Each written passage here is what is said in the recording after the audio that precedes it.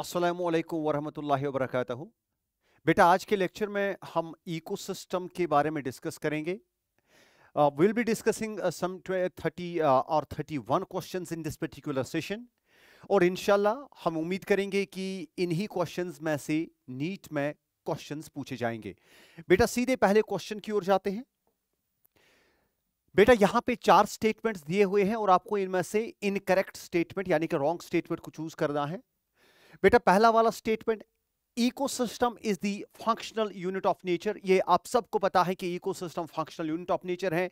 क्यों है? ये आगे के कुछ स्लाइड्स में डिस्कस हो जाएगा।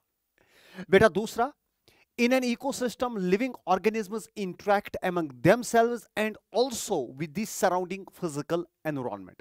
बेटा, आपको पता होना चाहिए, जो इकोसिस्टम होता है, थोड़ा सा मैं आपको बता दूँ। बेटा इकोसिस्टम में दो पर्टिकुलर कंपोनेंट्स आते हैं। बेटा, एक आता है फ़िज़िकल एनवायरमेंट फ़िज़िकल एनवायरमेंट का मतलब है एबायोटिक कंपोनेंट्स और बेटा, जो दूसरा कंपोनेंट इकोसिस्टम का है दो आर दी बायोटिक कंपोनेंट्स और अगर बेटा, मैं एबायोटिक कंपोनेंट्स की बात करूँ इसमें सॉइल आएगा वाटर आएगा मिनरल्स आएगा सनलाइट आएगी, बाकी सारे एबायोटिक फैक्टर जो वो इसमें आएँगे। और अगर बेटा मैं बायोटिक कंपोनेंट्स की बात करूँ तो यहाँ पे आप ध्यान से देखिए बायोटिक कंपोनेंट्स बेटा तीन तरह के इकोसिस्टम में होते हैं।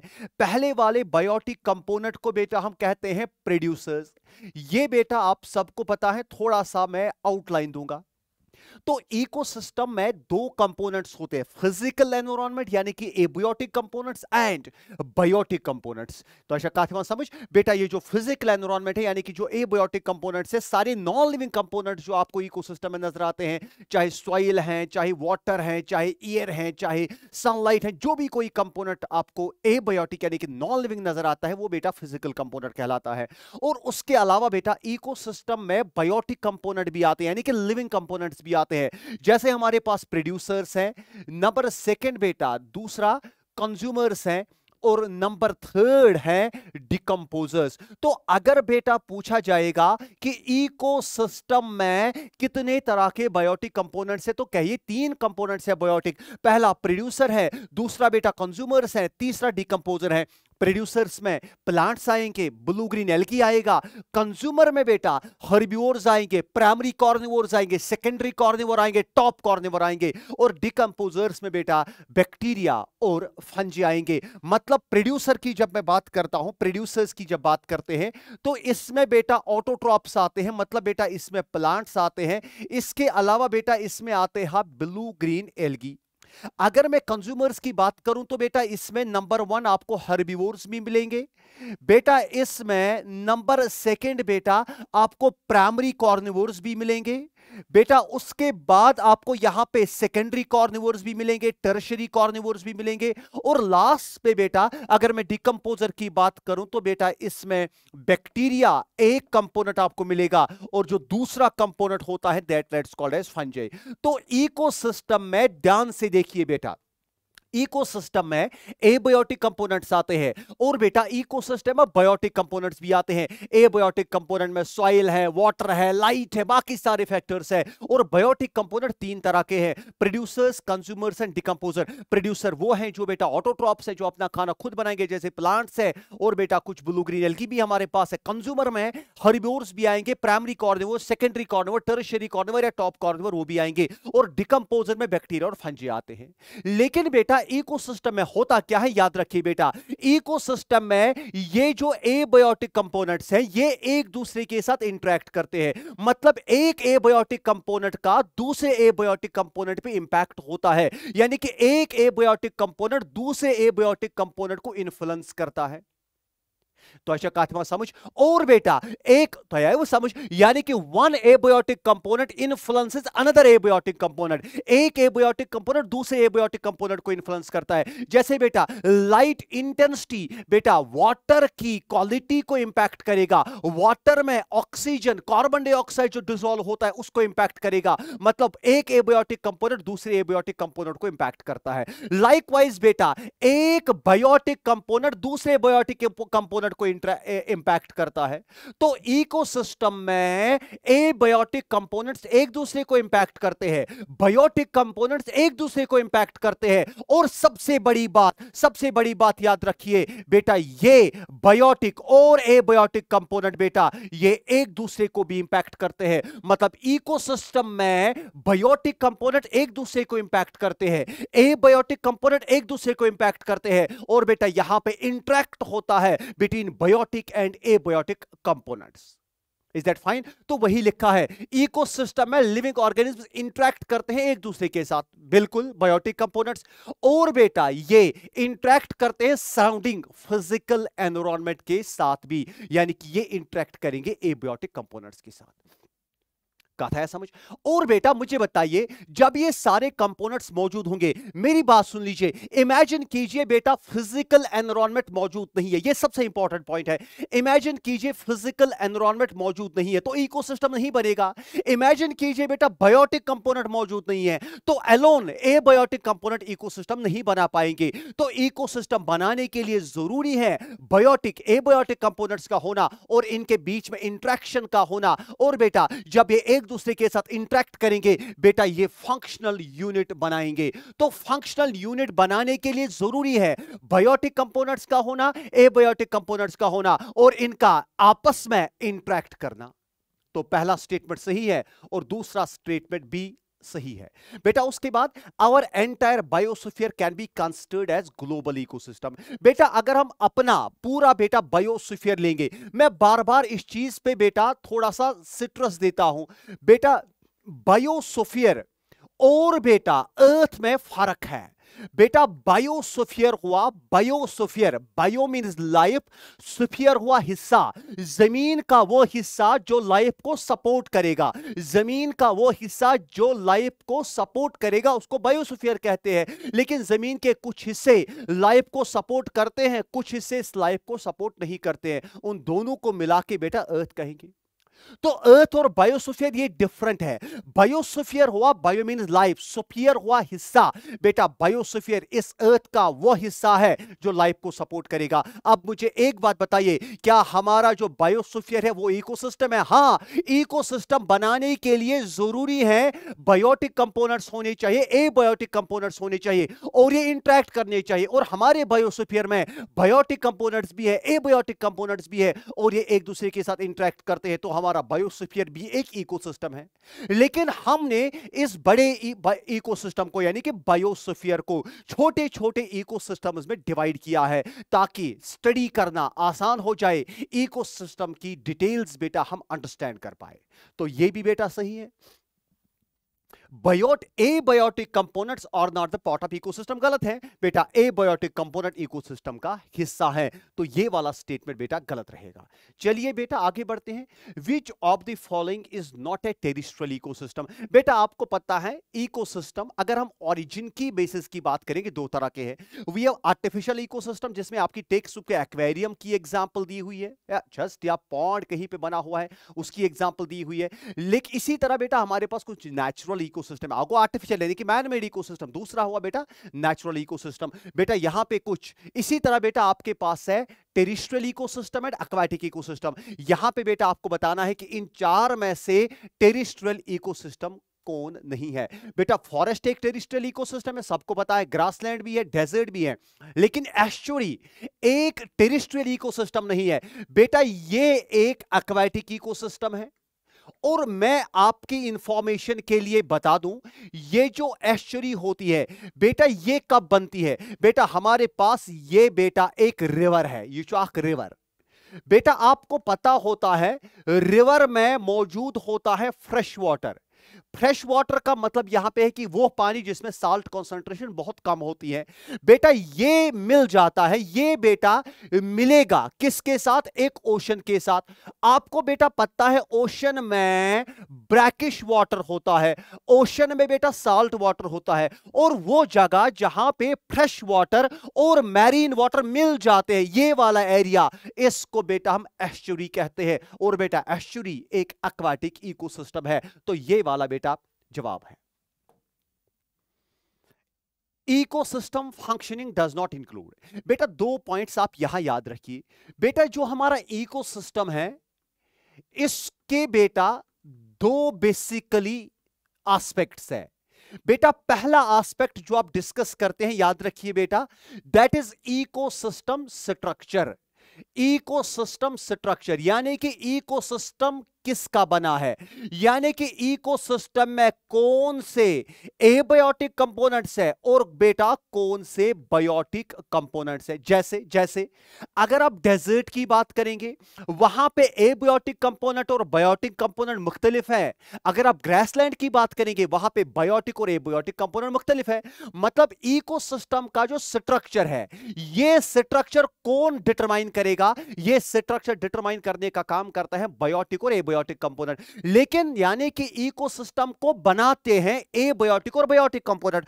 और बेटा, एक इकोसिस्टम में कैसे बायोटिक और एबायोटिक कंपोनेंट है? एक इकोसिस्टम का नेचर वैसा ही होगा। बेटा, जैसे हमारे पास डेजर्ट है, इसी तरह बेटा हमारे पास एक फॉरेस्ट है, इसी तरह बेटा हमारे पास एक ग्रासलैंड है। ये सब के सब इकोसिस्टम्स है। लेकिन क्या ये सारे के सारे इकोसिस्टम एक जैसे हैं? मैंने पूछा क्या ये सारे के सारे इकोसिस्टम एक जैसे हैं?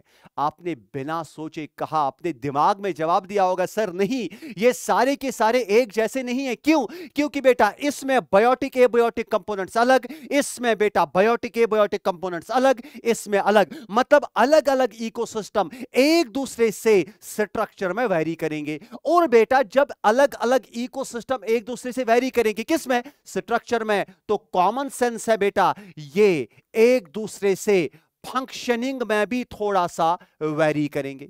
तो याद रखिए इकोसिस्टम में दो कंपोनेंट्स है। पहला स्ट्रक्चर इकोसिस्टम का स्ट्रक्चर कौन बनाता है? एबायोटिक एंड बायोटिक कंपोनेंट और बेटा अलग अलग इकोसिस्टम्स में बायोटिक और एबायोटिक कंपोनेंट वेरी करेंगे। दैट्स वे अलग अलग इकोसिस्टम्स का स्ट्रक्चर अलग अलग होगा। और बेटा, अगर मैं फंक्शनिंग की बात करूँ, हर कोई इकोसिस्टम बेटा तीन काम करता है थ्री फ़ंक्शंस करता है। नंबर वन बेटा, हर कोई इकोसिस्टम सनलाइट एब्जॉर्ब करके खाना बनाता है। यानी कि हर किसी इकोसिस्टम में प्रोडक्टिविटी होती है। ये खाना कैसे बनाएँगे? ये बायोटिक कंपोनेंट जो है, जो प्लांट्स है, वो सनलाइट को एब्जॉर्ब करके मिनरल्स को एब्जॉर्ब करके खाना बनाएँगे। यानी कि इकोसिस्टम का काम है खाना बनाना। यानी कि सनलाइट को एब्जॉर्ब करना सनलाइट का इनपुट और बेटा सनलाइट में जो लाइट एनर्जी है, उसको केमिकल एनर्जी में कन्वर्ट करते हैं। ये हर कोई इकोसिस्टम करेगा। लेकिन बेटा, क्या हर किसी इकोसिस्टम का इनपुट क्या हर किसी इकोसिस्टम की प्रोडक्टिविटी सेम होगी? नहीं बेटा, क्योंकि ये अलग अलग इकोसिस्टम्स बेटा स्ट्रक्चर में वैरी करेंगे। जब ये स्ट्रक्चर में वैरी करेंगे तो बेटा ये इनपुट यानी कि प्रोडक्टिविटी में भी वैरी करेंगे। किसी जगह वो प्लांट्स है जिनकी फोटोसिंथेटिक एफिशिएंसी ज़्यादा है। वो इकोसिस्टम जिनमें वो प्लांट्स है जिनकी फोटोसिंथेटिक एफिशिएंसी ज़्यादा है, वो ज़्यादा प्रोडक्टिविटी दिखाएगी। वो बात समझ आ रही है। चलिए, दूसरा काम बेटा जो इकोसिस्टम करता है, वहाँ पे लिखा हुआ है दैट्स ट्रांसफ़र ऑफ़ एनर्जी मतलब बेटा, हर किसी इकोसिस्टम में फ़ूड चेन होती है, हर किसी इकोसिस्टम में फ़ूड वेब होती है और हर किसी इकोसिस्टम में न्यूट्रिएंट साइकिलिंग होती है। बेटा, यहाँ पे अलग फ़ूड चेन यहाँ पे फ़ूड चेन की कंपोजिशन अलग, यहाँ पे फ़ूड चेन की कंपोजिशन अलग और नंबर थर्ड बेटा, जो तीसरा काम हमारे इकोसिस्टम्स का है यू ना इनपुट इनपुट हुआ एनर्जी इकोसिस्टम में चली गई। फिर इकोसिस्टम में जब एनर्जी आएगी तो मूव करेगी from one trophic level to another one to another और फाइनली बेटा, यहाँ पे आएगा आउटपुट, यानी कि एनर्जी का बाहर निकलना। बाहर कैसे निकलेगा बेटा? बाहर ये एनर्जी निकलेगी बिकॉज़ ऑफ़ डिकम्पोजिशन तो ये बेटा, जो डिस्कशन मैंने किया डिलिबरेटली मैंने थोड़ा इसको एक्सप्लेन किया कि इकोसिस्टम के दो बेसिकली कंपोनेंट्स हैं। पहला इकोसिस्टम का स्ट्रक्चर बेटा इकोसिस्टम का जो स्ट्रक्चर है, वो किससे बनता है? बायोटिक और एबायोटिक कंपोनेंट से। लेकिन सवाल है, नीट में पूछे जाने के बड़े चांसेस है कि क्या हर किसी इकोसिस्टम का स्ट्रक्चर सेम है? आप बलटली कहेंगे नो अलग अलग इकोसिस्टम्स का स्ट्रक्चर अलग अलग है। क्यों? क्योंकि अलग अलग इकोसिस्टम्स में बायोटिक और एबायोटिक कंपोनेंट्स की कॉन्स्टिट्यूशन अलग अलग है। लेकिन इकोसिस्टम का काम क्या है? पहला काम इनपुट दूसरा एनर्जी फ्लो तीसरा बेटा आउटपुट तो देखिए, यहाँ पे लिखा है इकोसिस्टम फंक्शनिंग का कौन सा इनमें से हिस्सा नहीं है? बेटा वर्टिकल डिस्ट्रीब्यूशन बेटा, ये इकोसिस्टम का हिस्सा नहीं है। हाँ इकोसिस्टम का हिस्सा है बेटा। इनपुट इकोसिस्टम का हिस्सा है। ट्रांसफ़र ऑफ़ एनर्जी ये नहीं है और इकोसिस्टम का बेटा आउटपुट जो मैंने एक्सप्लेन यहाँ पे किया। चलिए, आगे बढ़ते हैं और एक क्वेश्चन इनमें से रॉन्ग स्टेटमेंट्स को आप चूज़ करेंगे। Ecosystem has both biotic and abiotic components, except decomposer गलत है, मैंने अभी आपको समझाया, अगर तो राष्ट्रकांति दिमाग से। मैं उनती वनी बेटा, कि इकोसिस्टम में जो बायोटिक कंपोनेंट है, उसमें प्रोड्यूसर आएँगे कंज्यूमर आएँगे डिकम्पोजर आएँगे। तो बेटा डिकम्पोजर इकोसिस्टम का बड़ा इंपॉर्टेंट हिस्सा है। इवन बेटा, सबसे इंपॉर्टेंट हिस्सा तो डिकम्पोजर्स ही है। दूसरा स्टेटमेंट बेटा तो पहला स्टेटमेंट गलत है। Biotic and abiotic factors affect each other and their surroundings explain बताया मैंने अभी, सही है।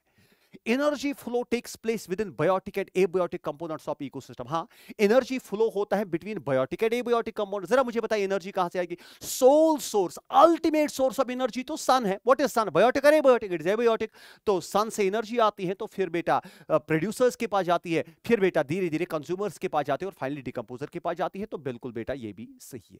चलिए interaction of biotic and abiotic components results in the physical structure that does not vary from नहीं बेटा, अभी मैंने कहा, बेटा इकोसिस्टम का जो फ़िज़िकल स्ट्रक्चर है, इसको गवर्न करता है, इसको डिटरमाइन करता है बायोटिक एबायोटिक कंपोनेंट और बेटा, अभी मैंने कहा, ये वेरी करेगा फ्रॉम इकोसिस्टम टू इकोसिस्टम उसके बाद identification and enumeration of plant and animal species of an ecosystem अगर बेटा आप ये एरिया लेंगे, आप देखेंगे इस एरिया में शाबा बेटा आइडेंटिफिकेशन कौन कौन सी स्पीशीज है, उसको पेन डाउन करेंगे, उसका राइट डाउन करेंगे तो आपको इस एरिया की स्पीशीज कंपोजिशन के बारे में पता चलेगा। तो ये बहुत आसान है।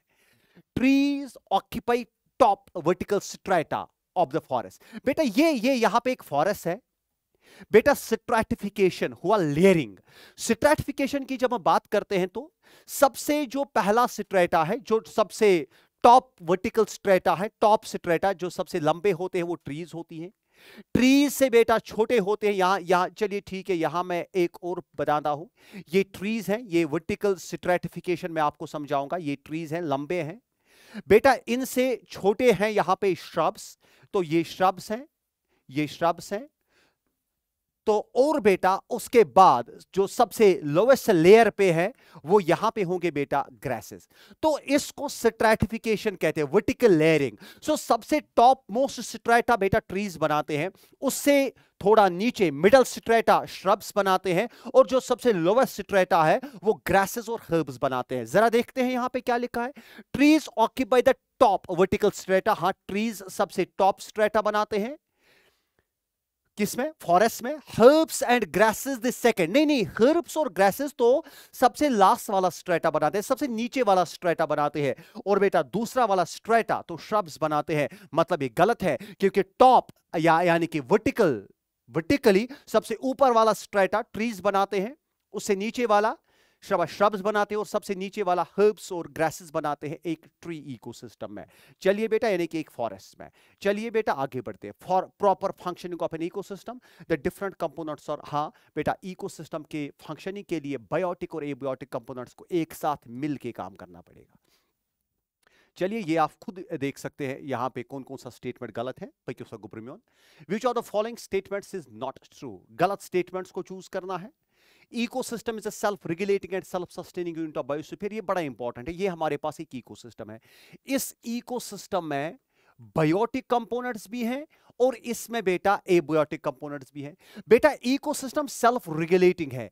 यानी कि ये इकोसिस्टम अपने आप को रेगुलेट करेगा। रेगुलेट करने का मतलब है ये इकोसिस्टम ये इकोसिस्टम अपने अंदर प्रोड्यूसर्स का नंबर मेंटेन करके रखेगा। ये अपने अंदर बेटा प्राइमरी कंज्यूमर्स का नंबर मेंटेन करके रखेगा। यानी कि बैलेंस करके रखेगा। ये इकोसिस्टम अपने अंदर बेटा सेकेंडरी कंज्यूमर्स का नंबर मेंटेन करके रखेगा। ये अपने अंदर बेटा टर्शरी कंज्यूमर्स का नंबर मेंटेन करके रखेगा। बेटा इकोसिस्टम सेल्फ रेगुलेटिंग है। मतलब ये इकोसिस्टम अपने आप को खुद रेगुलेट करेगा। इस इकोसिस्टम को पता है कितने प्रोड्यूसर होने चाहिए। Consumer primary secondary tertiary consumer कितने होने चाहिए। और self sustain sustaining self sustaining का मतलब है ये इकोसिस्टम सनलाइट एब्सॉर्ब करेगा। कहाँ से? ये सनलाइट एब्जॉर्ब करेगा सनलाइट में जो एनर्जी है, उसको एब्जॉर्ब करेगा और अब खुद को सस्टेन करवाएगा। इस इकोसिस्टम के सस्टेन करने के लिए दूसरे इकोसिस्टम की ज़रूरत नहीं है। ये इकोसिस्टम अपने आप में सेल्फ सफिशिएंट है। बस इसको एक चीज़ चाहिए एक्सटर्नल सोर्स ऑफ़ एनर्जी अगर आप एक इकोसिस्टम को एक्सटर्नल सोर्स ऑफ़ एनर्जी देंगे, ये सेल्फ सस्टेनिंग है। यानी कि इसके अंदर जो भी बायोटिक कंपोनेंट है, वो सस्टेन करेगा। पहला मैंने कहा सेल्फ रेगुलेटिंग होता है। मतलब इकोसिस्टम के अंदर हर किसी ट्रॉपिक लेवल पे जो नंबर ऑफ़ इंडिविजुअल्स है, उनका नंबर शाह बेटा रेगुलेट करने का काम ये इकोसिस्टम खुद से करता है। Pond is a deep water ecosystem गलत है शैलो वाटर है। पॉन्ड कोई गहरा नहीं होता है। पॉन्ड एक शैलो वाटर इकोसिस्टम है तो ये गलत है। A constant input of solar energy the basic requirement अभी मैंने कहा, इस इकोसिस्टम की फंक्शनिंग के लिए constant input of solar energy constant input of solar energy चाहिए, क्योंकि आपने first and second law of thermodynamics के बारे में पढ़ा होगा। आगे जाके थोड़ा सा मैं डिस्कस करूँगा, अगर मुझे टाइम मिला तो। There is a unidirectional movement of energy हाँ। एनर्जी सन से आती है प्लांट्स के पास। प्लांट से जाती है प्राइमरी कंज्यूमर के पास। प्राइमरी कंज्यूमर से सेकेंडरी कंज्यूमर सेकेंडरी से टर्शरी देख, देखिए बेटा, यहाँ पे हमारे पास बेटा प्लांट्स हैं। प्लांट्स को को ये एनर्जी कहाँ से मिली? उनको ये एनर्जी सनलाइट से मिली। फिर ये प्लांट से बेटा जाएगा प्राइमरी कंज्यूमर्स के पास। मतलब बेटा किन के पास? हर्बीवोर्स के पास। प्राइमरी कंज्यूमर से जाएगा सेकेंडरी कंज्यूमर के पास। सेकेंडरी कंज्यूमर से जाएगा टर्शरी कंज्यूमर के पास। मतलब एनर्जी यूनिडायरेक्शनली फ्लो फ्लो करेगी। From sun to plants, primary, secondary, tertiary consumer. ये एनर्जी रिवर्स डायरेक्शन में फ्लो नहीं करेगी। चलिए ठीक है।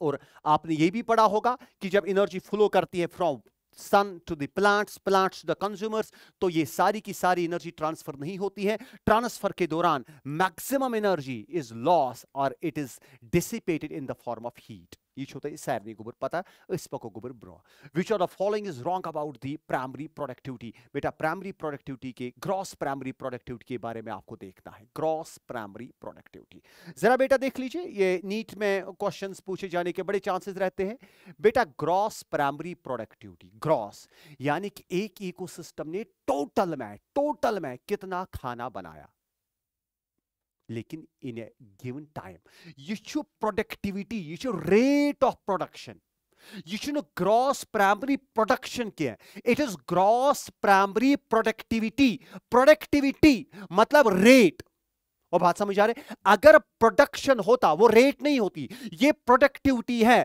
मतलब it is the rate of the synthesis of biomass जब रेट की बात आती है तो पर यूनिट टाइम आएगा। और बेटा it is the rate of production of organic matter बेटा, एक इकोसिस्टम फॉर एग्जांपल एक साल में ये इकोसिस्टम हमारे हमारे पास है। इस इकोसिस्टम का एरिया है for example one kilometre square ये इकोसिस्टम बेटा, एक साल में, यानी कि पर ईयर ये इकोसिस्टम एक साल में कितना बायोमास बनाएगा? बायोमास आपको केजी में so it is KG per kilometre square per year सुगो गोबर ग्रॉस प्राइमरी प्रोडक्टिविटी अब इस इकोसिस्टम ने मान के चलिए बेटा, इसने हंड्रेड केजी बायोमास बनाया साल में। हंड्रेड केजी बायोमास जो इस इकोसिस्टम ने बनाया टोटल में, इसको कहते हैं ग्रॉस प्राइमरी प्रोडक्टिविटी लेकिन बेटा ये किसने बनाया? प्लांट्स ने। तो प्लांट्स ने कितना बायोमास बनाया एक साल में? 100 केजी, लेकिन उस बायोमास में से ये अपने लिए, अपने सर्वाइवल के लिए थोड़ा सा खर्च करेंगे। मान के चलिए बेटा, इन्होंने इस 100 केजी में से 10 केजी खर्च किया। तो बताइए, इन प्लांट्स ने कितना स्टोर किया? इन प्लांट्स ने स्टोर किया 90 केजी। वो हुआ बेटा नेट प्राइमरी प्रोडक्टिविटी तो ग्रॉस प्राइमरी प्रोडक्टिविटी को टोटल माइनस जब करेंगे बेटा रेस्पिरेटरी लॉस यानी कि जो इसने अपने लिए खर्च किया तो वहाँ से निकलेगा net primary productivity so it is the rate of so gross primary productivity is equal to बेटा net primary productivity plus respiratory loss या बेटा क्या आप ऐसा कहेंगे? Net primary productivity is equal to बेटा gross primary productivity minus respiratory loss ये आप याद रखिए बेटा, ये बहुत बार नीट में पूछा भी गया है। क्या बेटा अब ये ग्रॉस प्राइमरी प्रोडक्टिविटी ज़्यादा होगा? नेट प्राइमरी प्रोडक्टिविटी हाँ तो it is greater than net primary productivity considerable amount of GPP is utilized by plants in respiration. मैंने कहा, इसमें से एक हिस्सा ये प्लांट्स अपने लिए खर्च करते हैं। GPP plus respiration is equal to NPP नहीं बेटा GPP minus respiration is equal to NPP तो बेटा ये गलत है, ये वाला सही है। भाई क्यों सकबर choose the incorrect statements from the following गलत स्टेटमेंट हम देखते हैं कौन कौन सा इनमें है। Primary production is expressed as grams per metre square per hour गलत है, क्योंकि मैंने कहा ये प्रोडक्शन है, ये रेट नहीं है। जब रेट की बात आती है, तब बेटा आपको टाइम को कंसिडर करना पड़ेगा। ये प्राइमरी प्रोडक्शन है, और इसके यूनिट्स होंगे बेटा सिंपल में ग्राम पर मीटर स्क्वायर या बेटा kilo calorie per metre square यहाँ पे अगर प्राइमरी प्रोडक्टिविटी होता, तब बेटा आप पर आवर लिख सकते थे। तो पहला वाला बेटा गलत है। The rate of biomass production is called as productivity हाँ बेटा रेट को प्रोडक्टिव प्रोडक्टिविटी कहेंगे रेट तो अगर प्रोडक्टिविटी की बात करेंगे तो टाइम को कॉन्स्टर करना पड़ेगा। तो productivity is expressed as grams per metre square per year या बेटा सिंस बेटा फ़ूड से एनर्जी निकलती है, अगर आप बायोमास की बात करेंगे तो ग्राम आप लिखेंगे, और अगर आप उससे जो एनर्जी निकलेगी उसकी बात करेंगे तो आप किलो कैलोरीज लिख सकते हैं या जूल्स लिख सकते हैं। ठीक शौकबर आगे बढ़िए बेटा। Net primary productivity is the available biomass for consumption to heterotrophs हाँ? जो प्लांट्स ने अपने अंदर स्टोर किया, उसी को एनिमल्स खाएँगे या उसी के ऊपर डिकम्पोजर एक्ट करेंगे? तो सही है बेटा it is available for the consumption to heterotrophs very good जो प्लांट्स ने अपने अंदर स्टोर किया, जो उन्हें खर्च किया तो किया। जो अपने अंदर स्टोर किया, उसी को या तो एनिमल्स खाएँगे, यानी कि हर्बिवोर्स खाएँगे, या उसी के ऊपर माइक्रोब्स एक्ट करके प्लांट को डिकम्पोज करेंगे तो ये सही है। Secondary productivity is defined as the rate of formation of new organic matter चलिए थोड़ा सा मैं आपको यहाँ पे बता दूँ। ये बेटा हमारे पास प्लांट्स है। इन प्लांट्स ने क्या किया? ध्यान से देखिए। प्लांट्स ने फोटोसिंथेसिस की। फोटोसिंथेसिस जो टोटल इन्होंने की that is gross primary productivity जो टोटल फोटोसिंथेसिस इन्होंने की। मान के चलिए बेटा, वो है हंड्रेड केजी इस हंड्रेड केजी में से फॉर एग्ज़ाम्पल तीस केजी इन्होंने खुद के रेस्पिरेशन के लिए खर्च किए। तो यहाँ पे क्या बचेगा? यहाँ पे बचेगा बेटा net primary productivity for example बेटा it will be seventy KG अब बेटा इन प्लांट्स को, ध्यान से देखिए तो यह है gross primary productivity primary gross primary primary जब भी वर्ड आएगा, बेटा याद रखिए बेटा प्राइमरी हम यूज़ करते हैं प्लांट्स के साथ। जब बेटा सेकेंडरी वर्ड यूज़ आता है तो हम कंज्यूमर के साथ है ना बकारो कंज्यूमर कंज्यूमर हुआ हर्बीवोर भी कॉर्निवोर भी सेकेंडरी कॉर्निवोर भी टर्शरी उन सबको एक साथ कंज्यूमर कहते हैं। तो जो ये प्राइमरी वर्ड है, ये हम प्लांट्स के लिए यूज़ करते हैं। प्लांट्स ने टोटल कितना बायोमास बनाया? ग्रॉस प्राइमरी प्रोडक्टिविटी उसमें से प्लांट्स ने अपने अंदर कितना स्टोर किया? नेट प्राइमरी प्रोडक्टिविटी मतलब ये जो प्राइमरी वर्ड है, हम प्लांट्स के लिए यूज़ करते हैं। फिर जब बेटा इन प्लांट्स को फॉर एग्ज़ाम्पल एग्ज़ाम्पल हर भी ने खाया। फॉर एग्ज़ाम्पल बेटा, इसको एक डियर ने खाया। अब इस डियर ने अपने अंदर कितना बायोमास एक्यूमुलेट किया? अब इसने कहाँ से बायोमास लाया? प्लांट्स को खाया। तो इस डियर ने अपने अंदर कितना बायोमास एक्यूमुलेट किया? उसको कहेंगे बेटा सेकेंडरी प्रोडक्टिविटी इस डियर को बेटा लॉइन खाएगा। तो लॉइन के पास कितना बायोमास एक्यूमुलेट हो जाएगा? उसको भी बेटा कहेंगे सेकेंडरी प्रोडक्टिविटी मतलब secondary productivity is the productive at the consumer level. Confusion ये होता है बच्चों में कि वो कहते हैं, sir secondary productivity is the productivity at the herbivore level नहीं बेटा secondary productivity is the productive at the consumer level फिर चाहे हर्बिवोर है प्राइमरी कॉर्निवोर है सेकेंडरी कॉर्निवोर है, यानी कि कंज्यूमर लेवल पे। तो जो प्रोडक्शन प्लांट करेगा that will be gross primary productivity and net यानी कि प्राइमरी हम प्लांट्स के लिए यूज़ करते हैं सेकेंडरी हम कंज्यूमर के लिए यूज़ करते हैं। फिर चाहे हर्बिवोर है प्राइमरी कॉर्निवोर है सेकेंडरी या टर्शरी कॉर्निवोर है। या कथा है वो समझ। चलिए बेटा, देख लेते हैं। Secondary productivity is defined as the rate of formation of new organic matter by primary consumers only नहीं बेटा by primary consumer secondary consumer यानी कि बाई कंज्यूमर फिर चाहे वो प्राइमरी कंज्यूमर हो सेकेंडरी हो टर्शरी हो कॉटनरी हो उसे कोई फ़र्क नहीं पड़ेगा। तो secondary productivity is the rate of formation of new organic matter by by not only primary consumer by consumers फिर चाहे प्राइमरी कंज्यूमर हो, यानी कि हर्बीओर हो सेकेंडरी कंज्यूमर हो टर्शरी कंज्यूमर हो, या टॉप कंज्यूमर हो कोई भी। Primary productivity does not depend on the plant species गलत है। प्राइमरी प्रोडक्टिविटी प्लांट स्पीशीज पे डिपेंड करेगा। आनज अगर प्राइमरी प्रोडक्टिविटी प्लांट स्पीशीज पे डिपेंड नहीं करेगा तो फिर ट्रॉपिकल रेन फॉरेस्ट में प्रोडक्टिविटी ज़्यादा क्यों है? तो बेटा ये जो प्राइमरी प्रोडक्टिविटी है, ये डिपेंड करेगा प्लांट स्पीशीज पे। लिखे डज नॉट डिपेंड ये डिपेंड करेगा प्लांट स्पीशीज पे, क्योंकि अलग अलग प्लांट स्पीशीज की फोटोसिंथेटिक एफिशिएंसी अलग अलग है। आपने सी थ्री सी फोर तो पढ़ाया है मैंने आपको तो सी फोर की फोटोसिंथेटिक एफिशिएंसी ज़्यादा है तो जिस रीजन में, जिस इकोसिस्टम में सी फोर प्लांट्स होंगे तो वहाँ पर प्रोडक्टिविटी ज़्यादा होगी। या काचो समझवान तो ये डिपेंड करेगा प्राइमरी प्रोडक्टिविटी डिपेंड करेगा बेटा। किस पे? स्पीशीज पे। यहाँ पे डज नॉट लिखा है तो ये गलत है। Primary productivity depends on availability of nutrients हाँ, क्योंकि फोटोसिंथेसिस के लिए न्यूट्रिएंट्स चाहिए। तो जब न्यूट्रिएंट्स ज़्यादा होंगी तो फोटोसिंथेसिस ज़्यादा होगी। And photosynthetic capacity of the plant तो ये सही है। Primary productivity is uniform in all the different नहीं बेटा प्राइमरी प्रोडक्टिविटी अलग अलग इकोसिस्टम्स में अलग अलग है। डेजर्ट में कम है ट्रॉपिकल रेन फॉरेस्ट में ज़्यादा है, क्योंकि ये प्रोडक्टिविटी डिपेंड करेगी बेटा क्लाइमेटिक कंडीशंस पे, यानी कि biotic as well as abiotic components पे तो ये गलत है बेटा। Annual net primary productivity annual net primary productivity है तो जो समझ? Of the whole biosphere is approximately ये टेक्स्ट बुक पे लिखा है कि जो हमारा बायोस्फीयर है, एक साल में 170 बिलियन टन बेटा ये बायोमास बनाता है, लेकिन ड्राई मास है, ये फ्रेश मास नहीं है फ्रेश मास बहुत ज़्यादा होगा, क्योंकि ड्राई मास फ्रेश मास में फ़र्क है कि dry mass is without water ये कार्बन स्केल्टन होता है, और जब फ्रेश मास की बात करते हैं तो उसमें पानी भी आता है। तो बेटा, और जो हमारा इको है, ये नेट प्राइमरी प्रोडक्टिविटी क्या हम ग्रॉस प्राइमरी प्रोडक्टिविटी कैलकुलेट कर सकते हैं? नहीं, क्योंकि प्लांट ने जो टोटल बायोमास बनाया, वो कंटिन्यूसली अपने लिए खर्च करता जाएगा। तो ग्रॉस प्राइमरी प्रोडक्टिविटी को एस्टिमेट करना मुश्किल है। हम नेट प्राइमरी प्रोडक्टिविटी एस्टिमेट कर सकते हैं, क्योंकि नेट प्राइमरी प्रोडक्टिविटी हुआ कि प्लांट ने अपने अंदर एक्यूमुलेट कितना किया? ग्रॉस प्राइमरी प्रोडक्टिविटी हम एस्टिमेट नहीं कर पाएँगे, क्योंकि ग्रॉस हुआ टोटल फोटोसिंथेसिस कितनी हुई। लेकिन जब प्लांट फोटोसिंथेसिस करेगा साथ साथ खर्च भी करेगा ना तो पता ही नहीं चलेगा ग्रॉस प्राइमरी प्रोडक्टिविटी कितनी है। लेकिन नेट प्राइमरी प्रोडक्टिविटी कितनी है बेटा? एनुअल यानी कि एक साल में हमारा बायोस्फीयर कितना खाना बनाता है? 170 billion ton of dry mass ठीक? और 70 परसेंट जो है, आपको पता होगा, चलिए देखते हैं। डेस्पाइट तो ये ठीक है, despite occupying about 70 percent of the surface area बेटा, हमारी ज़मीन का जो सरफेस एरिया है 70 परसेंट तो वाटर ने ऑक्यूपाई किया है।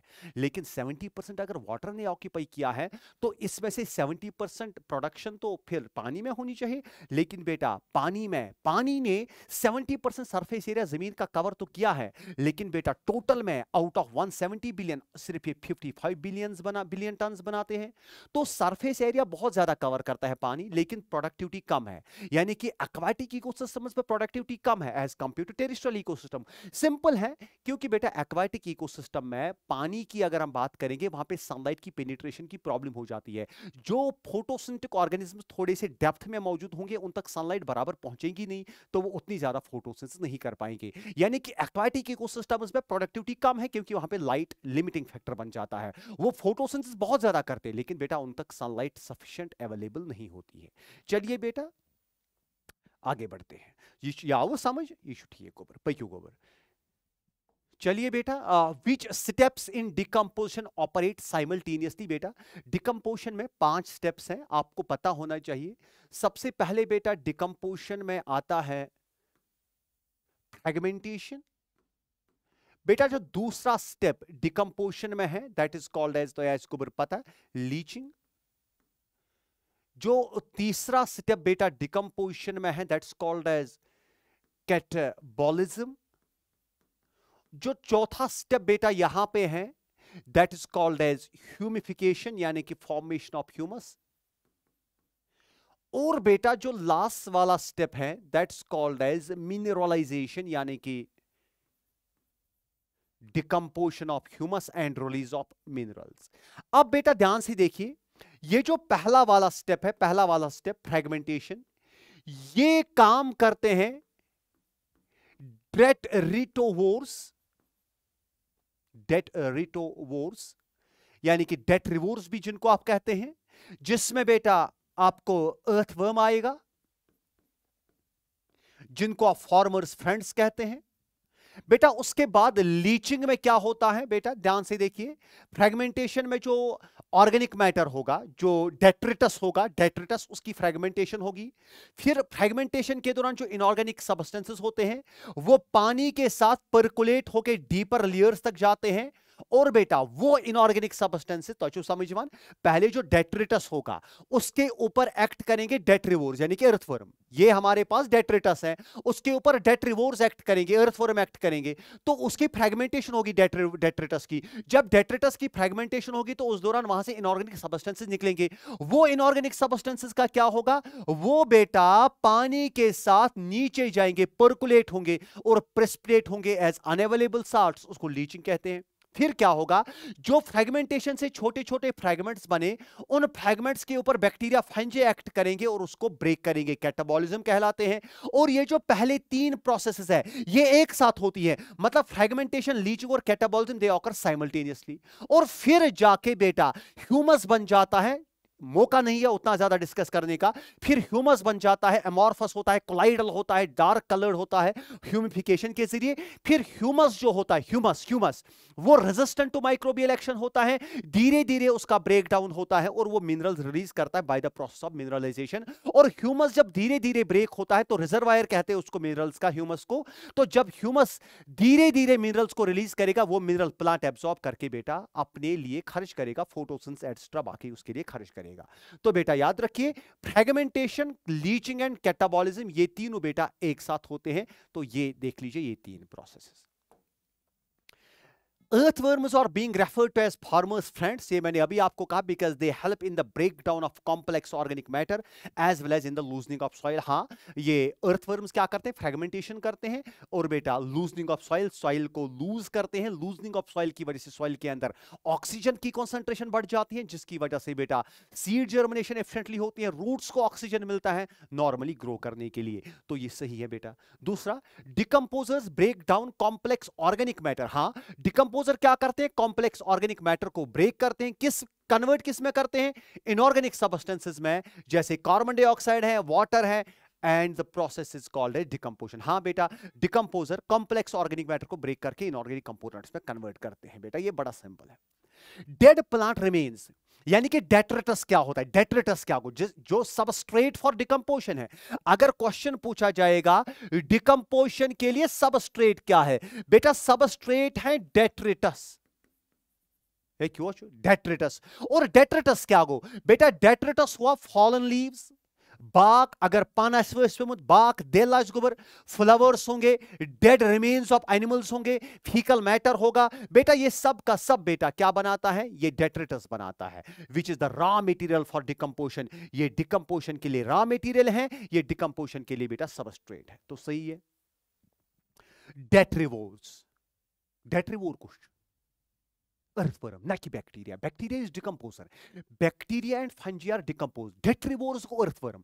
तो बेटा detrivores पच लिखित बैक्टीरिया तो गलत है ब्रेक डाउन detritus बाकी ठीक है बाकी ठीक है earthworm breaks down detritus into small particles by fragmentation जो अभी मैंने आपको कहा लेकिन यहाँ पे detrivores लिखा है बैक्टीरिया तो गलत है by leaching मैंने अभी आपको समझा लीचिंग के ज़रिए लीचिंग के टाइम क्या होता है वाटर सॉलेबल ऑर्गेनिक न्यूट्रिएंट्स नहीं नहीं वाटर सॉलेबल इनऑर्गेनिक न्यूट्रिएंट्स जब ऑर्गेनिक कंपाउंड्स का ब्रेक डाउन होगा, अभी बेटा मैंने समझाया, जब इनऑर्गेनिक कंपाउंड्स का यहाँ पे, जब ऑर्गेनिक कंपाउंड्स का ब्रेक डाउन होगा तो वहाँ से निकलेंगे इनऑर्गेनिक सब्सटेंसेस वही बेटा पानी के साथ मिक्स होके बहुत नीचे जाएँगे और प्रेस्टेट करेंगे एज अनअवेलेबल साल्ट्स तो बेटा यहाँ पर लिखा है वाटर सॉलेबल ऑर्गेनिक तो बेटा ये गलत है. बाकी सही है. बाकी सही है।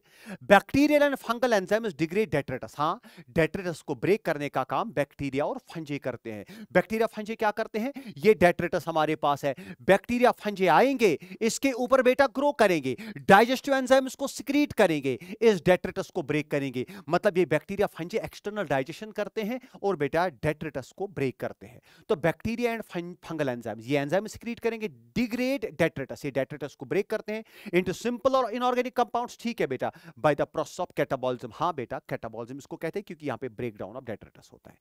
ह्यूमिफिकेशन एंड मिनरलाइजेशन जो लास्ट के दो स्टेप्स है बेटा ह्यूमिफिकेशन एंड मिनरलाइजेशन ये वाले दो स्टेप बेटा, ये कहाँ पे होते हैं? ये सॉइल में होते हैं। सॉइल का होना ज़रूरी है किसके लिए बेटा?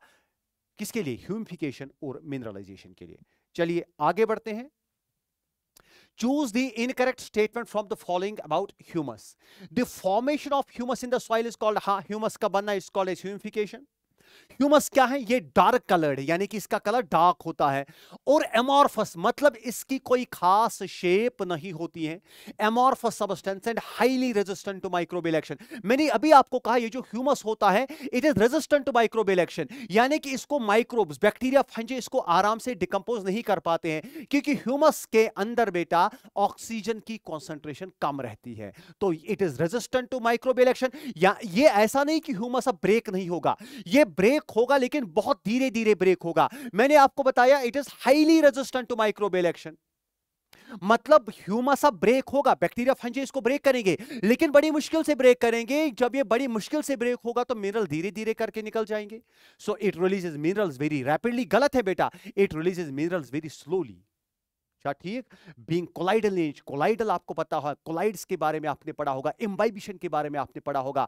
ये वाटर होल्डिंग पोटेंशियल इसका होता है, ये अपने अंदर पानी को होल्ड करके रखता है। It serves as a reservoir of nutrients and undergoes decomposition at a extremely slow rate मैंने अभी आपको कहा ह्यूमस बेटा एमोर्फस सब्सटेंस होता है। ह्यूमस के बारे में दो तीन पॉइंट्स आप याद रखिए। नंबर वन ये एमोर्फस सब्सटेंस होता है डार्क कलर होता है। Number third highly resistant microbial action और बेटा स्लोली डिकम्पोज होता है एक्ट करता है एज रिजर्वायर ऑफ़ मिनरल्स चलिए तो ये सही है, तीसरा वाला गलत है। आई वो बात समझ? चलिए बेटा, आगे बढ़ते हैं।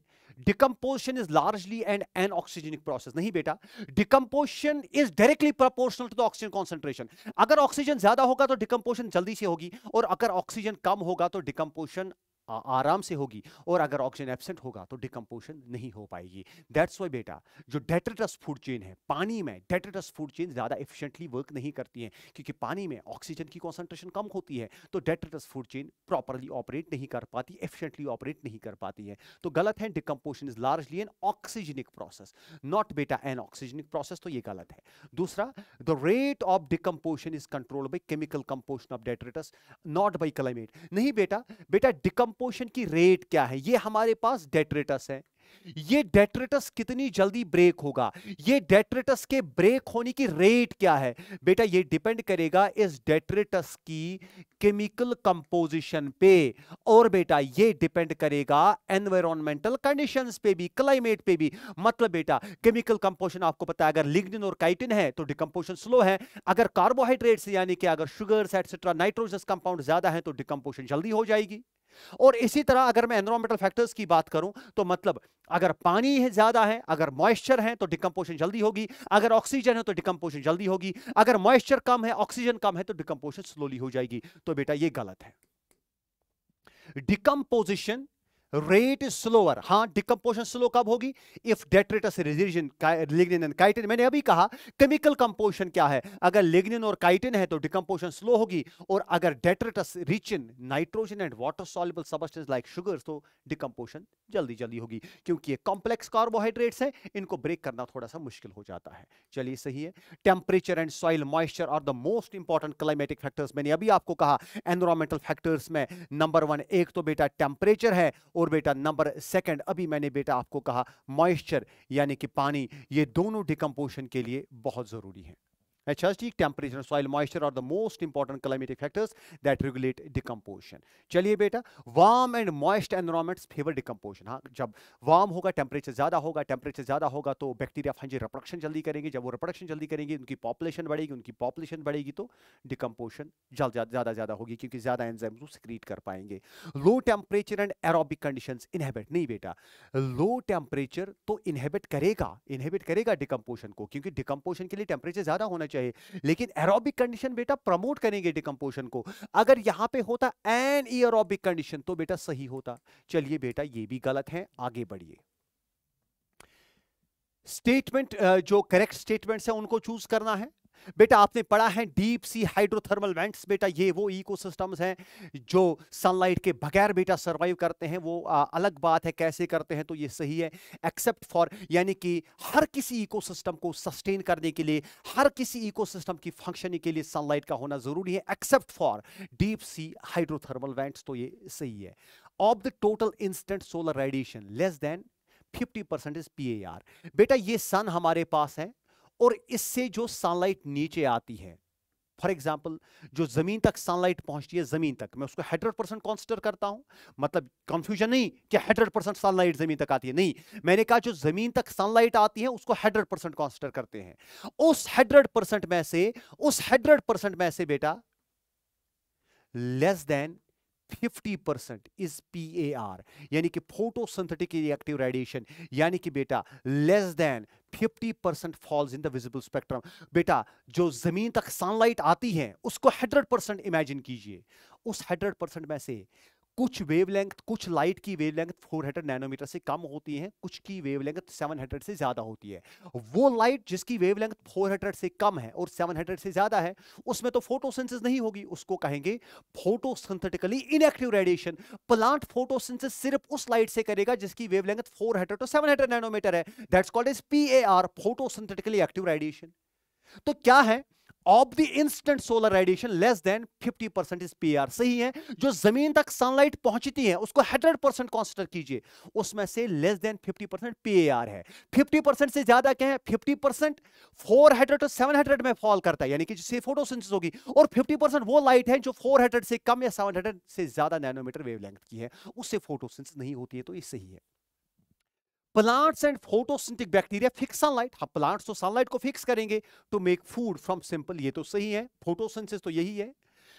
Plants capture. बेटा, जो अब पीएआर हमारे पास है, ये। बेटा, प्लांट्स क्या करते हैं? इस पीएआर में से जो फोटोसिंथेटिकली एक्टिव रेडिएशन है, उसमें से प्लांट दो से दस परसेंट यूज़ करते हैं फोटोसिंथेसिस के लिए। इमेजिन कीजिए, अगर प्लांट के पास जो पीएआर है 50 percent of the total incident light, अगर ये प्लांट इस सबको यूटिलाइज करेंगे फोटोसिंथेसिस के लिए तो कितना खाना बना पाएँगे। लेकिन जो टोटल पीएआर है, उसमें से प्लांट सिर्फ़ दो से दस परसेंट यूज़ करते हैं। यानी कि out of the P A R plant utilise only two to ten percent लेकिन पी ए आर कूता इट इज़ शाबाश 50 परसेंट ऑफ़ द टोटल यानी कि बेटा, ये जो पी ए आर है टोटल सनलाइट जो ज़मीन तक पहुँचती है, समझ लो, जो ज़मीन तक सनलाइट पहुँच गई, उसमें से 50 परसेंट पी ए आर है। यानी कि उसमें से 50 परसेंट सनलाइट वो है, जिसकी वजह से फोटोसिंथेसिस प्लांट कर सकते हैं। लेकिन प्लांट उस 50 परसेंट को यूज़ नहीं करता है। प्लांट उस 50 परसेंट में से two to ten percent use करता है। यानी कि out of the P A R out of P R not out of total incident light out of P A R plant use only two to ten percent लेकिन यहाँ पे लिखा है two to ten percent of the incident light नहीं बेटा incident light का नहीं plant इस पी का two to ten percent use करता है, यानी कि इंसिडेंट लाइट का वन टू फाइव परसेंट हाथ पेट कर थोड़ा पान दे। Solar energy captured by plants through बेटा प्लांट्स ने सोलर एनर्जी को कैप्चर किया, फिर हर्बीवोर्स के पास जाएगा प्राइमरी कॉर्निवर सेकेंडरी कॉर्निवर्स के पास जाएगा तो डिफरेंट ऑर्गेनिजम्स के पास जाएगा तो सही है। All organisms are dependent for their food on producers इधर हाँ बेटा, जो भी इस दुनिया में लिविंग ऑर्गेनिज्म है, चाहे डिकम्पोजर है, चाहे कंज्यूमर है, वो सब के सब प्लांट्स पे ही डिपेंडेंट है। चलिए a unidirectional flow of energy from sun to producers and then to consumers occur in an ecosystem हाँ बेटा एनर्जी फ्लो करती है unidirectionally from sun to producer producer to consumer ये तो सही है, ये तो सबको पता है। Ecosystem needs a constant supply of energy हाँ बेटा इकोसिस्टम तब तक काम करेगा, ये हमारे पास इकोसिस्टम है। बेटा सनलाइट की कंटिन्यूस की ज़रूरत है। क्योंकि बेटा हमारे ecosystem first and second law of thermodynamics को ओबे करते हैं। आपने दोनों first and second law of thermodynamics के बारे में पढ़ा होगा। चलिए ठीक है to they require to increase entropy नहीं बेटा बेटा, ये यहाँ पे एक्सप्लेन करने करने का टाइम नहीं है। इकोसिस्टम को कॉन्स्टेंट सप्लाई ऑफ़ एनर्जी चाहिए, ताकि इनऑर्गेनिक कंपोनेंट्स को जोड़ के ऑर्गेनिक कंपाउंड्स बनाए जाए। छोटे छोटे कंपोनेंट्स को मिला के एक बड़ा कंपोनेंट बनाया जाए। कार्बन डाइऑक्साइड वाटर मिनरल्स को जोड़ के ग्लूकोज बनाया जाए। जब छोटे छोटे कंपोनेंट्स को मिला के बड़ा कंपोनेंट बनाया जाएगा तो स्टेबल कंपाउंड बनेगा। जब स्टेबल कंपाउंड बनेगा तो इकोसिस्टम की एंट्रोपी कम होगी। मतलब हमें कॉन्स्टेंट इनपुट ऑफ़ एनर्जी चाहिए इकोसिस्टम के लिए, ताकि इकोसिस्टम की एंट्रोपी डिक्रीज हो जाए। अगर बेटा हम इकोसिस्टम को एनर्जी नहीं देंगे तो इनऑर्गेनिक कंपोनेंट्स की कंसंट्रेशन बढ़ेगी डिसऑर्डर बढ़ेगा एंट्रोपी बढ़ेगी। लेकिन जब हम सनलाइट प्रोवाइड करते हैं तो इनऑर्गेनिक कंपाउंड जुड़ के बेटा ऑर्गेनिक कंपाउंड बनाते हैं। छोटे छोटे कंपोनेंट्स मिला के बड़े कंपोनेंट्स बनाते हैं। जब बड़ा कंपोनेंट बनेगा तो बेटा स्टेबिलिटी आएगी स्टेबिलिटी आएगी तो डिसऑर्डर कम होगा, यानी कि एंट्रोपी डिक्रीज हो जाएगी। लेकिन इंक्रीज एंट्रोपी तो गलत है। चलिए। इन ए टेरिस्ट्रल इकोसिस्टम बेटा अगर हम टेरिस्ट्रल इकोसिस्टम की बात करते हैं मेजर प्रोड्यूसर सर हाँ टेरिस्ट्रल इकोसिस्टम में मेजर प्रोड्यूसर हर्बेशियस प्लांट्स और वुडी प्लांट्स हैं और एक्वाटिक इकोसिस्टम में फाइटोप्लैंक्टन एल्गी और हायर प्लांट्स हैं, ये तो सही है। Food chains and webs are formed because of interdependency of हाँ बेटा फ़ूड चेन क्यों बनती है? क्योंकि हर्बीवोर्स को प्लांट्स की ज़रूरत है प्राइमरी कॉर्निवोर्स को बेटा हर्बीवोर्स की ज़रूरत है सेकेंडरी कॉर्निवोर्स को प्राइमरी कॉर्निवोर्स की ज़रूरत इंटरडिपेंडेंसी लेकिन not for reproduction but for food बेटा प्लांट्स को हर्बियोर खाते हैं। बेटा मुझे बताइए हर्बियोर किस पे डिपेंडेंट है? हर्बियोर बेटा डिपेंडेंट है किसके ऊपर बेटा? प्लांट्स के ऊपर डिपेंडेंट है? क्यों बेटा? ये प्लांट्स के साथ रिप्रोडक्शन तो नहीं करते प्लांट्स को खाते हैं तो herbivores are dependent oh sorry herbivores are dependent on plants for food not for reproduction चलिए गलत है। क्या सा दलील कही है? ये सही है, ये गलत है। चलिए no energy that's trapped in an organism remains in for जो ऑर्गेनिज्म के अंदर एनर्जी है, मेरे अंदर एनर्जी है, क्या ये हमेशा मेरे अंदर ही रहेगी? नहीं एनवायरमेंट की ओर डिसिपेट हो जाएगी, और जो एनर्जी मेरी बॉडी के अंदर ट्रैप हो जाएगी, जब ऑर्गेनिज्म की डेथ हो जाती है, वो एनर्जी डिकम्पोजर्स के ज़रिए वापस एनवायरमेंट में चली जाती है तो ठीक है बेटा। सो so, ये भी सही है the energy trapped by the producers is always passed on to consumer नहीं बेटा जो प्रोड्यूसर्स के पास एनर्जी है प्लांट्स के पास वो हमेशा कंज्यूमर को नहीं जाती है अगर प्लांट को बेटा हर्ब्योर ने खाया तो एनर्जी जो प्लांट्स के पास है वो कंज्यूमर के पास पहुँचा लेकिन बेटा अगर इस प्लांट को बेटा अगर ये प्लांट मर गया और इस प्लांट के ऊपर एक्ट किया डिकम्पोजर्स ने तो जो इसके अंदर एनर्जी है वो तो डिकम्पोजर के पास चली गई तो गलत है बेटा energy trapped by the producers is always possible it to the consumer. No beta it is passed to the consumer और बेटा डिकम्पोजर अगर प्लांट के पास एनर्जी है, वो एनर्जी या तो कंज्यूमर के पास जाएगी. अगर कंज्यूमर के पास नहीं जाएगी तो फिर जाएगी डिकम्पोजर के पास. अगर प्लांट की डेथ हुई तो तो ये गलत है.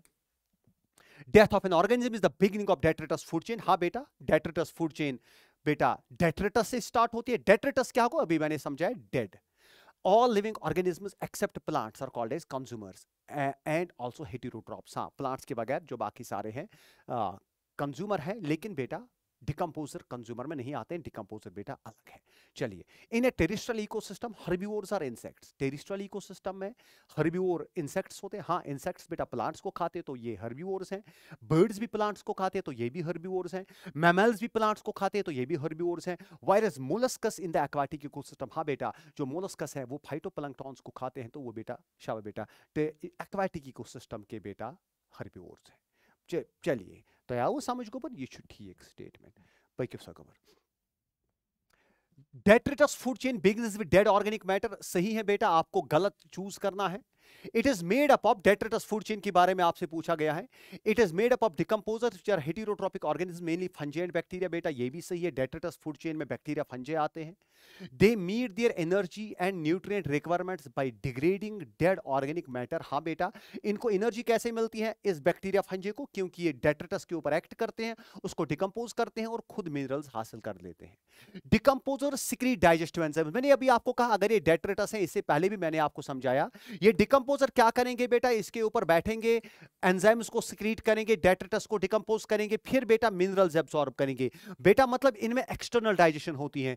तो डिकम्पोजर सिक्रीट डाइजेस्टिव एंजाइम सही that break down dead waste material सही इनटू सिंपल इनऑर्गेनिक कंपाउंड्स बिल्कुल सही which are subsequently absorb by them बिल्कुल सही the showing internal digestion no बेटा द शोइंग एक्सटर्नल डाइजेशन बेटा, ये एक्सटर्नल डाइजेशन दिखाते हैं तो बेटा ये गलत है। डेट्रेटस फ़ूड चेन में भी connected with the grazing food chain at some levels हाँ बेटा डेट्रेटस फ़ूड चेन और ग्रेजिंग फ़ूड चेन बेटा एक दूसरे के साथ कनेक्टेड है क्योंकि बेटा जो डेट्रेटस फ़ूड चेन में प्रे है दैट uh, जो ऑर्गेनिज्म है that can be prey to the grazing food chain चलिए in an aquatic ecosystem a much larger fraction of energy flow through नहीं, मैंने अभी आपको कहा एक्वाटिक इकोसिस्टम में डिकम्पोशन स्लो है। तो एक्वाटिक इकोसिस्टम में जो ज़्यादा प्रोमिनेंट है, वो ग्रेजिंग फ़ूड चेन है। और टेरिस्ट्रियल इकोसिस्टम में बेटा ऑक्सीजन की अवेलेबिलिटी ज़्यादा है तो वहाँ पे डिकम्पोशन एफिशिएंट होगी तो detritus food chain terrestrial ecosystem में मेन कंट्रीब्यूट है। तो ये गलत है। तो एक्वाटिक इकोसिस्टम में लार्जर फ्रैक्शन बेटा डेट्रेटस फ़ूड चेन से नहीं पास होता है ग्रेजिंग फ़ूड चेन से पास होता है। और अगर मैं टेरिस्ट्रियल इकोसिस्टम की बात करूँ, वहाँ पे ज़्यादातर पोर्शन बेटा डेट्रेटस फ़ूड चेन के थ्रू पास होता है। चलिए आगे बढ़ते हैं। आपको बेटा यहाँ पे जो सही स्टेटमेंट्स हैं, उनको बेटा चूज़ करना पड़ेगा। चलिए चूज़ करते हैं। In an aquatic ecosystem grazing food chain is the main conduit for मैंने अभी आपको कहा सही है एक्वाटिक इकोसिस्टम में डिकम्पोशन स्लो है तो मेजर एनर्जी ट्रांसफ़र बेटा वहाँ पे ग्रेजिंग फ़ूड चेन से होगा। Omnivores like cockroaches crows etcetera omnivore मतलब जो, शबाश। हर्बियोर भी है, जो कार्निवोर भी है, जो शाबाश सेकंड ट्रॉपिक लेवल और थर्ड ट्रॉपिक लेवल से या फोर्थ ट्रॉपिक लेवल से बिलोंग कर सकते हैं। Omnivores like cockroaches crows etcetera are artificial नहीं नहीं दे आर नेचुरल यानी कि कॉकरोच एंड क्रोज बेटा, ये नेचुरल कनेक्शन है फ़ूड चेन्स के बीच में। These are not artificial connection अच्छा ठीक? तो ये गलत है। The amount of energy decrease at successive trophic level बेटा, अगर हमारे पास टी वन है, यानी कि प्लांट्स फिर बेटा, ये एनर्जी जाती है टी टू के पास मतलब हर्बिवोर्स के पास। तो एनर्जी जो यहाँ पे होगी, उससे कम यहाँ पे होगी, आपको 10 percent Lindeman's 10 percent law energy पता है। जो एनर्जी यहाँ पे होगी, उसका 10 परसेंट यहाँ तक पहुंचेगा। चलिए, ये तो आपको पता है। When any organism dies it is converted to detritus और dead biomass that serves as energy source for decomposer सही? हाइटलाइट वो organism at each trophic level depend on those at the हाँ ये ऑर्गेनिज्म बेटा इन पे डिपेंड करते हैं फॉर देयर एनर्जी डिमांड बिल्कुल सही the number of trophic levels in the grazing food chain is restricted हाँ ग्रेजिंग फ़ूड चेन में number of trophic levels restricted होता है फोर टू फाइव क्यों क्योंकि वहाँ पे टेन परसेंट लाफ एनर्जी होता है मैं अभी जाके आपको समझाऊँगा बेटा ये मेरे पास T1 है प्लांट्स है मान के चलिए बेटा इनके पास इतने जूल्स एनर्जी है प्लांट्स के पास। बेटा, जब इनको प्लांट्स खा इनको जब हर्बियोर्स खाएँगे तो वो T2 है, उनके पास इस एनर्जी का सिर्फ़ 10 परसेंट पहुंचेगा। तो इनके पास, बेटा, इसका 10 परसेंट ये बात समझ। सो 1000 जूल्स आएँगे। प्लांट्स को जब बेटा प्राइमरी कॉर्निवोर्स खाएँगे तो उन तक, बेटा, इसका 10 परसेंट पहुंचेगा। मतलब बेटा हंड्रेड जूल्स आएगा। बेटा, इनको जब और एक शाबाश, कॉर्निवर खाएगा। सेकेंडरी कॉर्निवर तो बेटा, टी फोर बेटा, उन तक टेन किलो, टेन जूल्स पहुँचेंगे। तो मतलब जब आप ऊपर ऊपर जाते हैं, जो एनर्जी का कंटेंट है, वह कम होता जाएगा, क्योंकि हमारे पास Lindeman ten percent law energy है। उसने कहा, एक सक्सेसिव ट्रॉपिक लेवल। इस ट्रॉपिक लेवल से इस ट्रॉपिक लेवल तक सिर्फ़ दस एनर्जी जाती है, बाकी डिसिपेट होती है, रिलीज़ होती है एज हीट तो अगर बेटा ट्रॉफिक लेवल्स का नंबर बढ़ाएँगे, जो ऊपर वाली ट्रॉफिक लेवल्स होंगे, फॉर एग्ज़ाम्पल टी फाइव तो उस तक एनर्जी वन जूल पहुंचेगा तो उस एनर्जी से वो ट्रॉफिक लेवल में जो ऑर्गेनिज्म है, वो सर्वाइव नहीं कर पाएँगे। That's why grazing food chain में of trophic levels is limited, because it follows 10% law of energy given by landman बेटा, ये ट्रॉफिक लेवल ट्रॉफिक लेवल किसी ऑर्गेनिज्म का नाम नहीं है, ये फंक्शनल यूनिट है। यानी कि इनका काम है खाना बनाना ट्रॉफिक लेवल फ़र्स्ट बेटा, इनका काम है प्लांट्स को खाना ट्रॉफिक लेवल सेकंड काम functional unit so trophic level is not the name of an organism it is a functional unit चलिए, ठीक है। ये मकलो यथ मज बरुद कह स्टेटमेंट ये लिखा हुआ है नंबर ऑफ़ ट्रॉफिक लेवल चलिए बेटा, मैंने डिस्कस किया।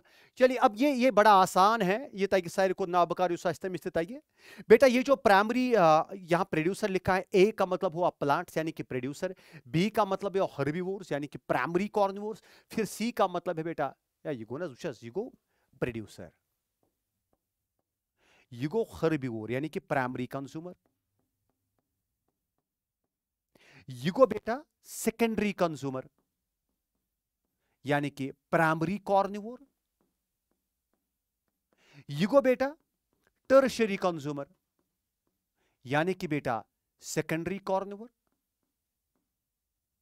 ठीक ऊपर तो इस तरह से आप ये खुद कर सकते हैं। पर किस गोबर में certain mass of living matter बेटा, हर किसी ट्रॉफिक लेवल पे, जो लिविंग मैटर होता है उसका बायोमास कितना होगा? दैट्स कॉल्ड एज स्टैंडिंग शावेटा क्रॉप हर किसी ट्रॉपिक टी वन हमारे पास ट्रॉपिक लेवल फ़र्स्ट है।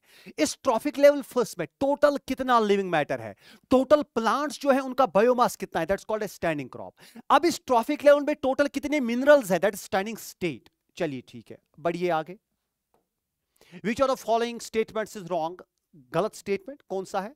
इकोसिस्टम्स आर एग्जेम्प्टेड नहीं बेटा। Ecosystems obey the first and second law of thermodynamics मेरे पास टाइम नहीं है, मैं क्लास में एक्सप्लेन करता रहता हूँ फ़र्स्ट एंड सेकंड लॉ को। तो यहाँ पे याद रखिए they are not exempted they follow the first and second law of thermodynamics तो ये गलत है। Standing crop is measured as the mass of living लिखित you know question standing crop is measured as the mass of living organism और the number Shava beta of living organisms in a particular area. Agu you go standing crop, agu standing state. Standing crop को living matter, standing state को mineral. चलिए मतलब सही है. The biomass of a species is expressed in terms of fresh meat. बेटा अगर हमारे पास ये एक प्लांट है, इस प्लांट का बायोमास हम बेटा नॉर्मली किसमें एक्सप्रेस करते हैं? ड्राई मैटर में. क्योंकि बेटा अगर हम इसको फ्रेश मास में एस्टिमेट करेंगे, मैंने इससे पहले भी कहा बेटा फ्रेश मास में पानी का कंटेंट भी आता है and that becomes misleading that's why बेटा, अगर हमें बायोमास कैलकुलेट करना होगा, सबसे बेहतरीन तरीका है एज ड्राई मास क्योंकि ड्राई मास हमें कार्बन सिकल्टन के बारे में बताता है, इसमें वाटर नहीं आता है। चलिए चलिए, ठीक है, मैंने कहा biomass in terms of dry matter is more accurate भाई क्यों सगोबर ब्रोकन बेटा, यहाँ पे पायरामिड ऑफ़ नंबर की बात करेंगे। It is always it is always upright हाँ ग्रास एंड इकोसिस्टम में पायरामिड ऑफ़ नंबर अपराइट है, यहाँ पे दिया हुआ है, आप चेक कर सकते हैं। It is always upright in pond ecosystem pyramid of number ये सही है, क्योंकि फाइटोप्लैंक्टन जू प्लैंक्टन तो ये वहाँ पे भी अपराइट होगा। It is always upright in parasitic food chain नहीं बेटा। पैरास्टिक फ़ूड चेन में ये तो इन्वर्टेड होगा। ये मान के चलिए, ये हमारे पास एक प्लांट है। इस प्लांट पे बेटा थाउजेंड्स ऑफ़ एक प्लांट दो प्लांट तीन प्लांट है उसके ऊपर थाउजेंड्स ऑफ़ इंसेक्ट्स है। तो ये इन्वर्टेड होगा तो ये गलत है। इट कैन बी इन्वर्टेड और irregular shape in case of tree ecosystem हाँ बेटा ट्री इकोसिस्टम में बेटा ये इन्वर्टेड होगा। Which of the following is wrong pyramid of biomass is upright in हाँ biomass इको टेरिस्ट्रल इकोसिस्टम में ग्रास एंड इकोसिस्टम में ये बेटा अपराइट होता है, लेकिन पॉन्ड इकोसिस्टम में बेटा पायरामिड ऑफ़ बायोमास इन्वर्टेड होता है, क्योंकि फाइटोप्लैंक्टॉन्स का बायोमास कम प्लैंक्टॉन्स का बायोमास उससे ज़्यादा स्मॉल फिशेस का उससे ज़्यादा लार्ज फिशेस का उससे ज़्यादा। मतलब ये इन्वर्टेड होना चाहिए, यहाँ पे अपराइट लिखा है तो गलत है। Pyramid of energy is always upright ये सही है। Pyramid of number and biomass हाँ pyramid of number and biomass can be upright ये डिपेंड करता है इकोसिस्टम पे कभी अपराइट होगा, कभी इन्वर्टेड होगा, लेकिन बेटा पायरामिड ऑफ़ एनर्जी हमेशा अपराइट ही होगा। ये पायरामिड ऑफ़ बेटा शबाइश बायोमास है और ये पायरामिड ऑफ़ एनर्जी है। यहाँ पे आप देख सकते हैं, यहाँ पे जो एनर्जी सन से आती है, बेटा उसका उसका एक परसेंट इधर आएगा, उसका एक जो सनलाइट में एनर्जी है, उसका एक परसेंट इधर आएगा, फिर उसका दस परसेंट इधर, दस परसेंट इधर, दस परसेंट इधर। चलिए बेटा आगे बढ़ते हैं। Which of the following is not a limitation of the ecological ecological pyramid के कुछ लिमिटेशन है? जरा देखते हैं इनमें से कौन सा इकोलॉजिकल पैरामिड की लिमिटेशन नहीं है? It does not take into account the same species belonging to हाँ बेटा, इसमें एक मसला है कि ह्यूमंस या अभी कॉकरोच की हमने बात की, ओमनिवर्स। हम बेटा ट्रॉपिक लेवल सेकंड से बिलोंग करते हैं, थर्ड से बिलोंग करते हैं। अब किसमें रखेंगे तो वो मसला है, ये बिल्कुल सही है। Ecological pyramid is based on generalisation नहीं बेटा ecological pyramid is based on the actual number अगर आप पैरामिड ऑफ़ नंबर बनाएँगे, आपको काउंट करना पड़ेगा कि प्रोड्यूसर कितने हैं। आपको काउंट करना पड़ेगा कि बेटा हर्बियोर कितने हैं। आपको काउंट करना पड़ेगा बेटा प्राइमरी कॉर्नोवर कितने हैं। यानी कि यहाँ पे कोई जनरलाइजेशन नहीं चलती है। यहाँ पे एग्जैक्ट नंबर आपको बताना है तो ये गलत है। इकोलॉजिकल पैरामिड की खूबी है कि हम एग्जैक्ट नंबर बताते हैं। हम जनरलाइजेशन नहीं लेते हैं। It assumes a simple food chain हाँ बेटा इकोलॉजिकल पैरामिड की प्रॉब्लम है। हम पैरामिड बनाते हैं एक फ़ूड चेन को कॉन्सिडर करके। लेकिन isolated food chain do not exist food web exist करती है। तो बेटा, ये एक ड्रॉबैक है। और बेटा सैप्रोफाइट्स और बेटा सैप्रोट्रॉप्स डिकम्पोजर्स पायरामिड में हिस्सा नहीं है। बेटा T one T two T three T four बेटा, इनका, इनकी कोई जगह नहीं है सैप्रो सैप्रोफाइट्स की, यानी कि डिकम्पोजर्स की। तो ये एक ड्रॉबैक है। The second trophic level in lake is एक लेक में प्राइमरी ट्रॉफिक लेवल बेटा फाइटोप्लैंक्टॉन्स है तो second trophic level zooplanktons होंगे। सेकेंडरी प्रोड्यूसर बेटा प्राइमरी प्रोड्यूसर हुआ प्लांट्स सेकेंडरी प्रोड्यूसर हुए हर्बीवोर्स चलिए। उसके बाद what is the percentage of photosynthetically active radiation अभी बेटा मैंने कहा इट्स अराउंड 50 परसेंट तो लेस देन 50 परसेंट है। Which one of the following process during decomposition is correctly described बेकार डिकम्पोशन मैंने ऑलरेडी एक्सप्लेन किया। मुझे बताया फ्रेगमेंटेशन में is correctly described fragmentation carried out by organism सही है। Humification leads to the of dark amorphous substance humus which undergoes microbial action at a very fast rate गलत है at a slow rate catabolism last step नहीं बेटा last step तो mineralisation है। और leaching water soluble inorganic nutrient rise to the top नहीं बेटा they go to the bottom ये परकुलेट हो जाते प्रेस्पिरेट हो जाते in the deeper layers of soil तो बेटा, ये भी गलत है। पाकान कुबर next question given below is an imaginary pyramid of numbers. What could be one of the possibilities about certain organisms at some of the different levels? बेटा, यहाँ पे एक इकोलॉजिकल pyramid बना हुआ है। आपको बताना है, what does pp represent? ये pp क्या होना चाहिए? जरा पहला देखते हैं। Pc is the insects. हाँ बेटा, ये इंसेक्ट्स होंगे और बेटा ये एक ये एक बड़ी ट्री होगी। तो PC are the insects and S C S C is an insectivorous bird हाँ ये इंसेक्टोरस बर्ड होगा, ये ये होगा, ये मासन इंसेक्ट्स इंसेक्टोरस बर्ड्स और बेटा ये प्लांट तो पहला सही है। चलिए दूसरा क्या है? पीपी इज़ फाइटोप्लंक्टॉन अगर ये फाइटोप्लंक्टॉन है तो उनका नंबर बहुत ज़्यादा होता है लेकिन यहाँ पे पीपी फाइटोप्लंक्टॉन तो कम है तो ये नहीं पॉसिबल है। PP is peepal tree and level SC sheep नहीं बेटा ये एससी तो पीपल ट्री को खाएगा तो एससी तो यहाँ होना चाहिए फिर तो गलत है। तो बेटा यहाँ पे पहला ही ऑप्शन सही है। The biomass available for consumption to the herbivores and the decomposers is called as जो बेटा मैंने अभी आपको कहा that's called as secondary productivity. uh, sorry the biomass available for the consumption by the herbivores is called as net primary productivity ये बेटा यहाँ देख लीजिए चलिए बेटा आगे बढ़ते हैं what type of ecological pyramid would be obtained with the following data यहाँ पे ग्राम्स में दिया है तो पायरामिड ऑफ़ बायोमास होगा तो प्राइमरी प्रोड्यूसर 10 होंगे तो 10 ये है बायोमास क्योंकि ग्राम्स में दिया है अगर यहाँ पे होता है 120 ऑर्गेनिज्म तो पायरामिड ऑफ़ नंबर हम बना पाते। लेकिन यहाँ पे अगर लिखा होता 120 किलो कैलोरी तो पायरामिड ऑफ़ एनर्जी हम बना पाते। लेकिन 120 ग्राम्स है तो पायरामिड ऑफ़ बायोमास बनाएँगे। तो प्राइमरी प्रोड्यूसर कितने हैं 10 सेकेंडरी कितने हैं बेटा? 60 और बेटा प्राइमरी कंज्यूमर कितने हैं? 60 ये 10 है, ये 60 है। और बेटा, ये 120 है तो बेटा हमें एक इन्वर्टेड पायरामिड यहाँ पे मिला तो it will be inverted pyramid of biomass which of the following ecosystem types has the highest annual बेटा ये सबको पता है। सबसे ज़्यादा प्रोडक्टिविटी बेटा ट्रॉपिकल रेन फॉरेस्ट दिखाते हैं। आपने अमेजोन रेन फॉरेस्ट के बारे में सुना होगा। आगे जाके आप खुद भी पढ़ सकते हैं। जो बायोडाइवर्सिटी एंड कंजर्वेशन है, वहाँ पे आप पढ़ते हैं कि ट्रॉपिकल रेन फॉरेस्ट में सबसे ज़्यादा प्रोडक्टिविटी होती है, जैसे हमारे पास अमेजोन रेन फॉरेस्ट है। चलिए which of the following ecological pyramids is generally inverted बेटा, इनमें से कौन सा इज़ जनरली इन्वर्टेड इन्वर्टेड कौन सा है? Pyramid of biomass in sea बेटा हाँ इन्वर्टेड होता है। Pyramid of number in grass नहीं बेटा, ये अपराइट होता है। पायरामिड ऑफ़ एनर्जी ये भी अपराइट होता है। और pyramid of biomass in a forest बेटा, ये भी अपराइट होता है। मतलब इन्वर्टेड सिर्फ़ pyramid of biomass in sea होता है, क्योंकि सी में फाइटोप्लैंक्टॉन्स का बायोमास कम जू जू प्लैंक्टॉन्स का ज़्यादा स्मॉल फिशेस का उससे ज़्यादा, और लार्ज फिशेस का उससे ज़्यादा। The rate of decomposition is faster in the ecosystem due to the following factors, except, बेटा डिकम्पोशन की रेट जल्दी जल्दी किसकी वजह से होगी? हाँ अगर डेट्रेटस में शुगर ज़्यादा है तो डिकम्पोशन जल्दी जल्दी होगी, क्योंकि काइटिन और लिग्निन से डिकम्पोशन कम होगी। वार्म एंड मॉइस्ट कंडीशन हाँ बेटा, क्योंकि अगर टेम्परेचर ज़्यादा है मॉइस्चर ज़्यादा है तो डिकम्पोशन जल्दी जल्दी होगी। Presence of aerobic soil microbes ये भी सही है बेटा। डेट्रेटस रीजन लिग्निन नहीं बेटा। अगर डेट्रेटस में लिग्निन और काइटिन ज़्यादा होगा तो डिकम्पोजन स्लो होगी। अभी मैंने बताया, क्योंकि दीज आर कॉम्प्लेक्स कंपाउंड्स तो इनको डिकम्पोज करना मुश्किल हो जाएगा।